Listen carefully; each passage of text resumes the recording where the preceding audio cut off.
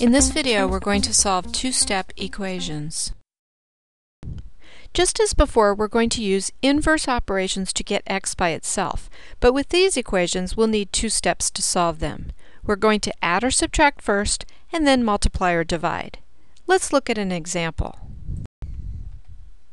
In this example, we're going to begin by subtracting 3 from each side of the equation. So we'll subtract 3 from the left side and subtract 3 from the right side.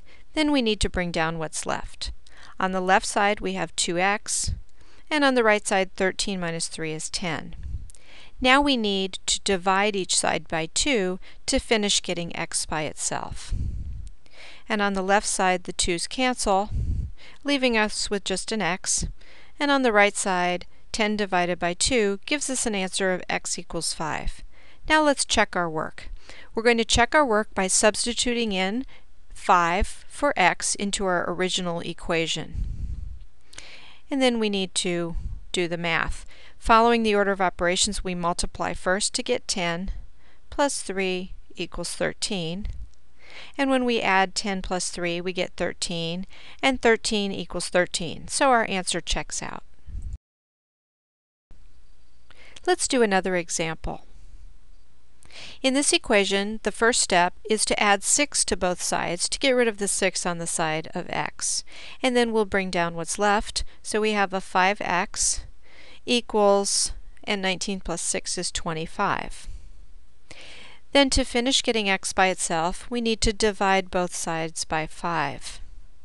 On the left side, the 5's cancel, leaving us with x equals and 25 divided by 5 is 5. So x equals 5.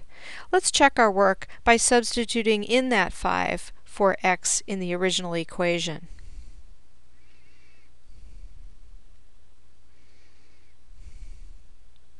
And then we need to multiply first, and we get 25 minus 6.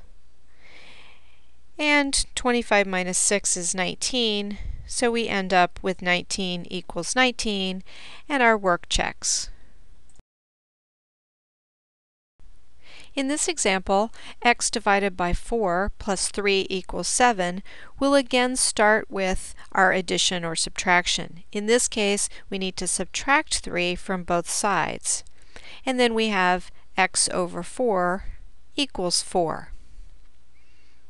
To finish getting x by itself, we need to do the inverse of the division and multiply each side by 4. On the left side, our 4's cancel out, leaving us with x equals 16. Now let's check our work by substituting in 16 for x in our original equation.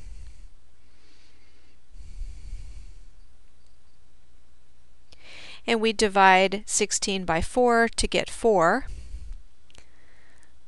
And we can see that 7 equals 7, and our answer is correct. You can practice more of these problems in Moby Pocket and Quizlet.